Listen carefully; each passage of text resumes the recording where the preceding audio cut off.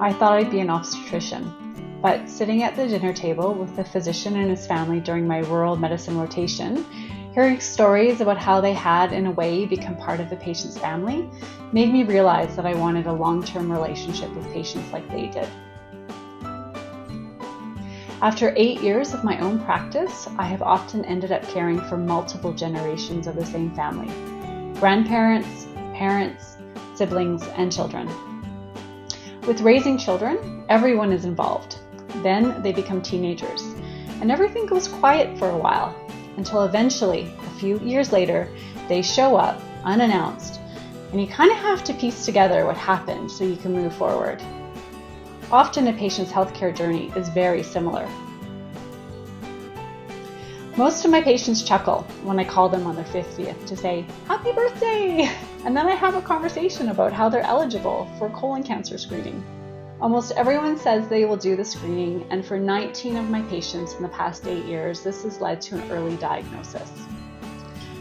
For one woman, the early days of her suspicious test result was full of urgency and uncertainty. Something was wrong, but we didn't know what was needed. We did everything we could to get her connected to the cancer care system. And then everything went quiet. I received the occasional intervention or consult note that was pushed to me, but they were scattered and disconnected. It was kind of like the random text message or photos you get from a young adult who's traveling the world.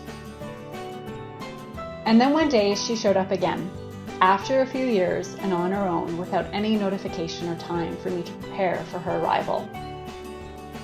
When it comes to family, preparation matters because it shows that you care. When I get a discharge letter, my team and I can stratify their risk and reach out to them to let me know that they are home and we are here for them.